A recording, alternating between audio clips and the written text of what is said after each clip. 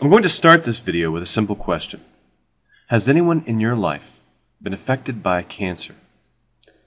I'm reasonably certain that the answer, for absolutely everyone watching, is yes. Cancer is the cause of 12.5% of all deaths worldwide. In the USA alone, it kills almost 600,000 people a year. It takes children, young people starting careers and family, and it takes the mature and elderly. It can affect our mothers, our fathers, our grandparents, siblings, cousins, friends, our children, our teachers, mentors, and even our heroes. If your loved one was presented with a diagnosis of cancer, particularly an aggressive or advanced cancer, no doubt you immediately wanted to know what could be done. Into this emotional maelstrom comes a mixture of saints and frauds. The saints are those who have selflessly dedicated their lives to curing and treating cancer. The frauds are those who try to profit from desperation, from fear of loss. It's not always so easy to tell the two apart.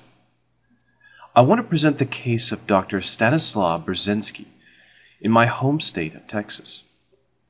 Dr. Burzynski owns and operates a private clinic that offers alternative cancer treatments and has been the source of some controversy.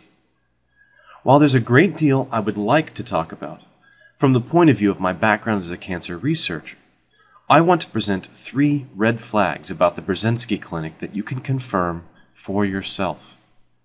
If you or someone you know is considering a referral to the Burzynski Clinic, I hope you'll review the content here first and take the time to ask some critical questions of the clinic operators. The decision is yours and yours alone.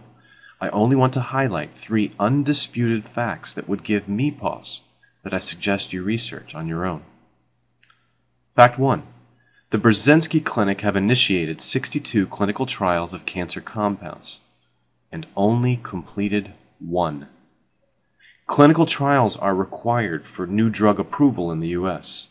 They must pass through four phases. First, testing for safe dose, then effectiveness against a particular cancer, followed by a comparison of effectiveness versus existing therapies, and lastly into long-term monitoring of harmful effects. Every clinical trial has to register before starting, a practice intended to prevent drug companies from sweeping unsuccessful results under the rug. Not every clinical trial manages to recruit enough patients. Some are terminated early, and some are closed when it's obvious the drug is unsafe or ineffective. For every three completed trials, there's probably one that was closed prematurely. However, the Burzynski Clinic have an unprecedented 62 trials pre registered, but only one of them ever went all the way to completion. That's our first red flag. Why is a clinic supposedly developing new therapies for cancer not finishing their studies, determining whether the treatment is effective or not? Instead, they always just give up and cancel the study, the final stage. One possible explanation is that clinical trials are the only way that unproven drugs can be given to patients without major medical liability issues. It's possible that someone could abuse the clinical trial system to use ineffective or toxic therapies long term. That is, they could exploit a loophole in the laws designed to protect patients running endless trials to end run around safety and efficacy requirements for new drugs. I'm not going to say that Dr. Burzynski is doing that, but you can confirm for yourself at clinicaltrials.gov that the Burzynski Clinic has initiated 62 clinical trials, but only completed one. Fact 2. The Burzynski Clinic charges patients to receive trial medications.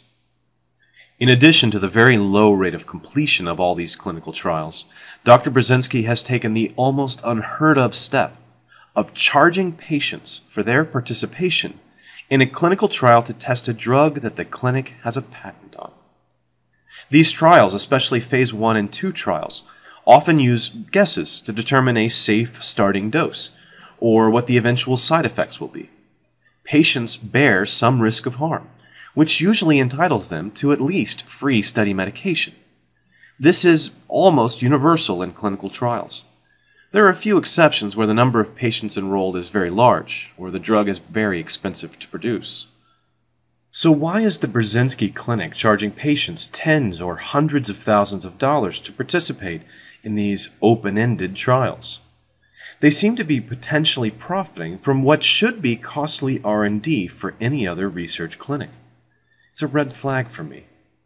The fact that insurance companies won't pay for the untested drugs means that the financial burden falls entirely on loved ones and charities or members of the community.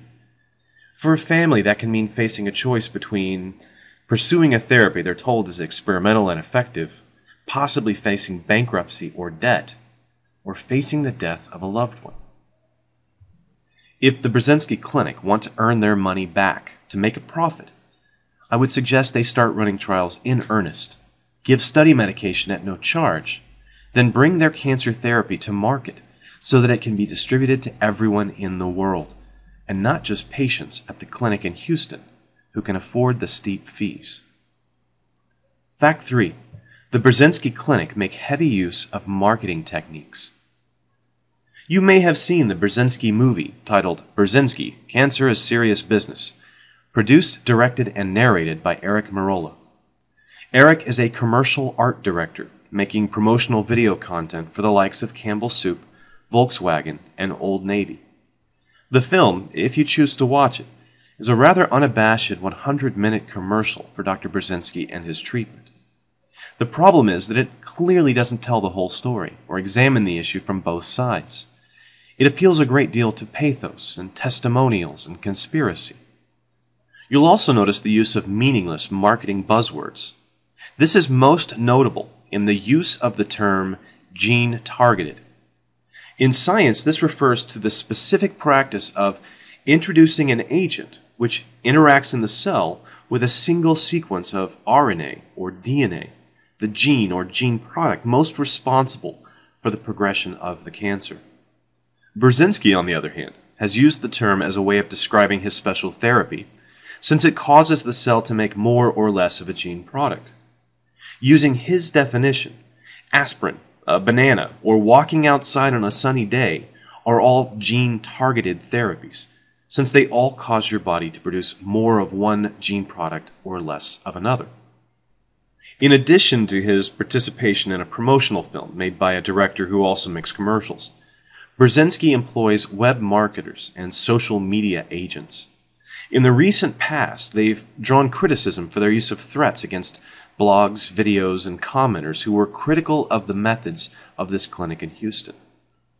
This even included attempts to silence a 17 year old critic, an act which was later disavowed by the PR director after it gained public scrutiny, and email threats against one blogger's family that included a satellite photo of his house, including the address.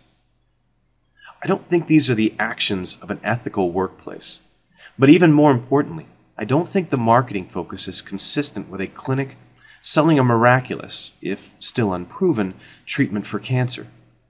Let's make this quite clear. If you had an amazing new breakthrough in cancer treatment, would you really need any marketing at all? Would you need a PR director or social media agents to comb the internet, suppressing criticism? I think the best solution to the kind of difficult choice facing someone Considering a referral to the Burzynski Clinic is clear information. I hope I've given you three points to consider that you can independently confirm.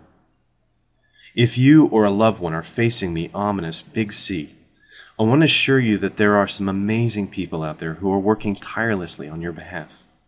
We make progress every year in diagnosing earlier, treating more effectively.